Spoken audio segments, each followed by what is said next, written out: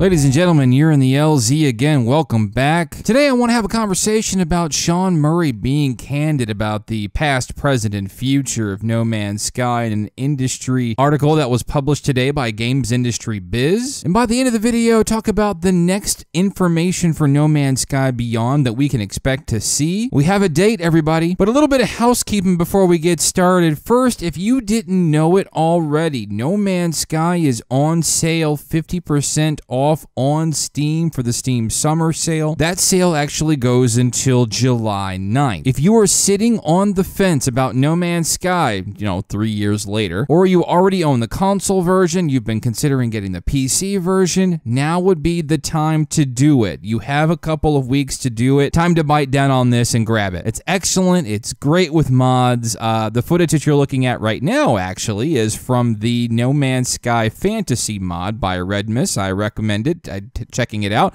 I can put that in the description below. Also, a link to the Steam store page for No Man's Sky, 50% off, especially if you have VR, right? If you were waiting for the killer app for VR, this is the time to do it. Speaking of July 9th, that's probably going to be the next time that we officially see Sean Murray in an official capacity because he's going to be opening up the Develop Conference in Brighton with its first keynote, specifically talking about No Man's Sky. We'll get to that in a moment, but about this this article, and please do check the description below for a link to this article. It is certainly worth a read. But an article by James Batchelor from the UK editor of Games Industry Biz titled Sean Murray on No Man's Sky, I thought we were making a niche game. I'm not really going to cover the whole article, but I am going to highlight up a couple a couple of interesting bullet points that I found from the article that I really want to highlight for you here. First things first, Sean talks about the players, and more appropriately, the exponential growth of the no Man's Sky community with every single update. He says,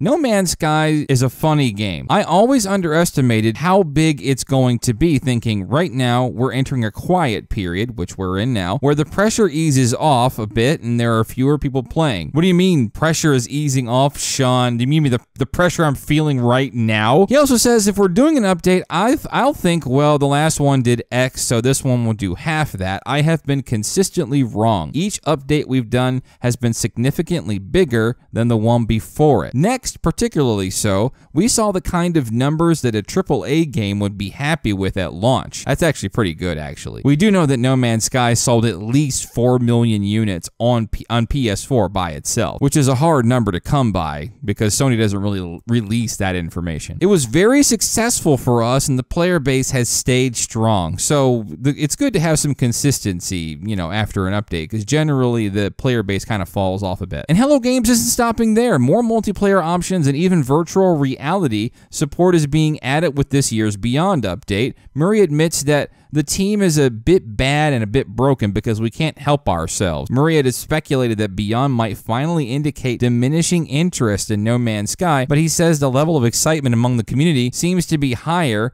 than what it was for Next. Honestly, as much as I like Next, I'm pretty, I, I, I'm sort of sitting on the fence about Beyond right now because for one, we have no idea what No Man's Sky Online is going to be. I don't have a whole lot of interest in VR. I'm not a, I'm not typically a VR player, although I do like some of the goodies that they added to the game to sort of facilitate VR. And then we don't, we still don't know what the third part of the update is. So, I mean, it's kind of hard to, to gauge excitement for Beyond when we don't know what it is. And he also says, who knows, maybe I'll be proved wrong again, he says, but I'm still waiting for that quiet period. Next thing, he actually talks about the game being polarizing, and this kind of caught me off guard. Uh, I didn't expect him to answer it this way, but he says, we knew that No Man's Sky was going to be polarizing. We knew that wasn't going to be an experience for everyone. When we released No Man's Sky, and in fact, when we first started talking about it, I thought we were making a pretty niche game, and I continue continued to think for, I continued to think that for a long time. A lot of the design decisions we made were for a niche game, and it turned out to be a really large niche, which is fair. I mean, I would I would imagine that if it didn't get the sort of AAA exposure that it did, that it might have sort of stayed a little lower key. But who are we kidding, right? I mean, when the game was first announced, and, and, and as a YouTuber, as a No Man's Sky YouTuber, almost specifically, it was, it's, it's, it, it was, it, it sort of facilitated the growth and the success of this channel simply by how many people were searching for this game on YouTube. So I think Sean really just underestimated the power of what he had here. My very first video net netted about 46,000 views on No Man's Sky by itself. It was the very first video I ever made, and each video that I make now, even now, three years later, gets about 1,000 to 2,000 views in the very first day of its being of it being uploaded. So that's crazy the amount of uh, interest that this game has driven and still has driven, right? Is still driving uh, growth for this channel, oddly. Next thing I want to highlight is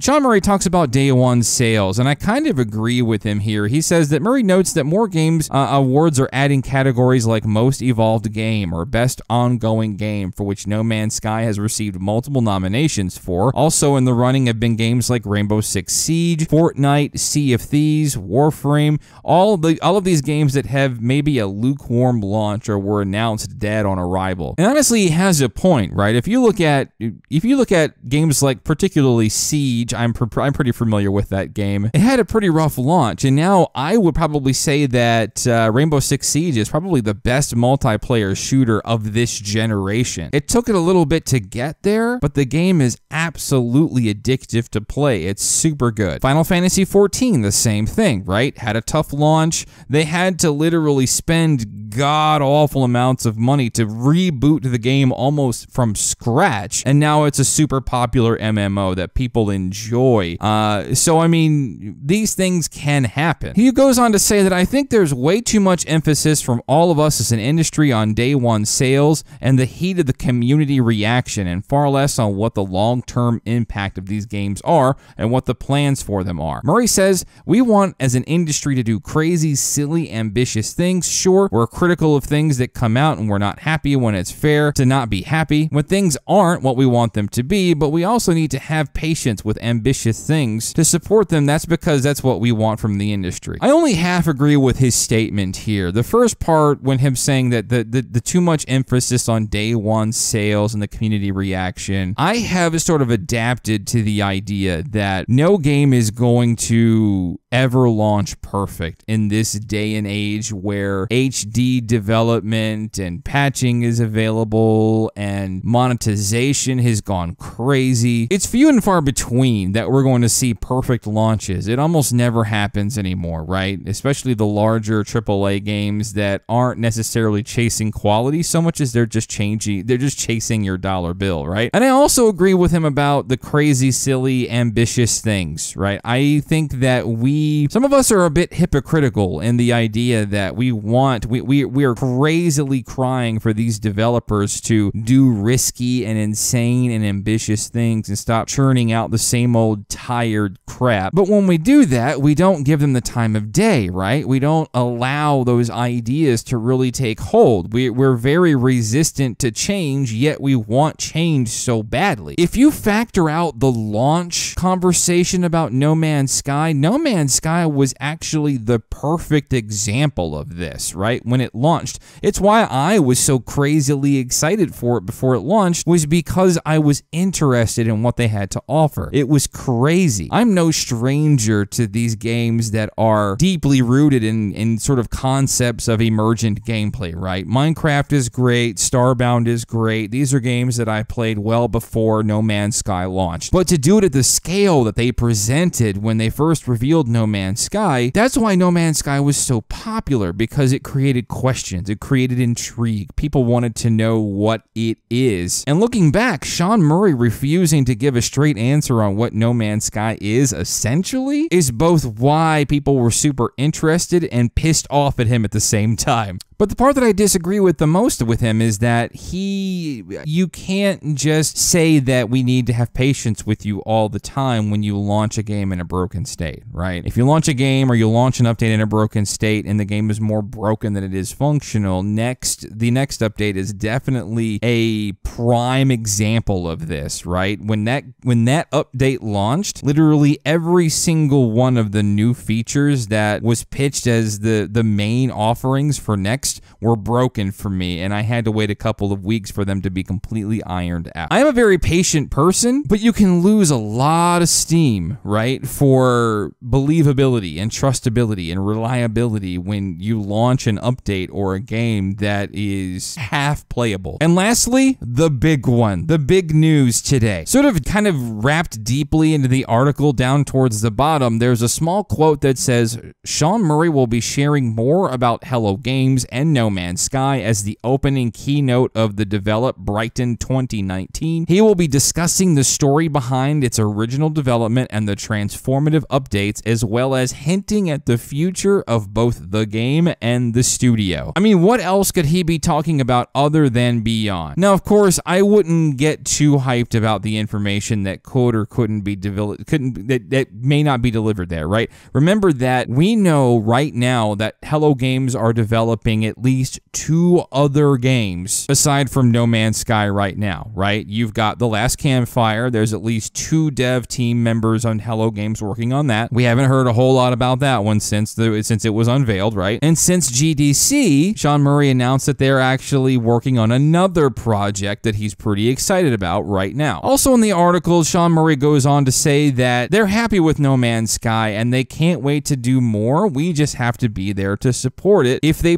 plan to do so. So if the updates keep growing the game and the fan base, I mean, why would they why would they do anything different? So of course there's a huge piece of me that really says, "Hey, this is it. It's time. It's summer." The very least that you could do is tell us what the third component of Beyond is. Even if it's super inevitable that we're waiting until August sometime. Damn you, L plays. You jinxed us all. It's time to get a bigger idea of what Beyond is. And I know a lot of us are getting antsy and we're getting impatient, and I understand you're all gonna be happy when they show you what it is. I promise. A lot of you on my Twitter and in my comment section on YouTube videos are just sort of over it, right? And I get it. So there it is, folks. Do again check the description for the link to this article. It's a very good read, a lot of good candid information about things like Hello Games' relationship with Sony and how that was difficult to manage at times. But comment down below. Tell me, do you think not, do you think Sean Murray is going to show us something super substantial other than the awesome history and future of Hello Games? And if this was helpful to your No Man's Sky viewing experience, do like, subscribe, click the bell for way more No Man's Sky content, both before and beyond beyond. Thanks for stopping by, everybody. I'll see you later.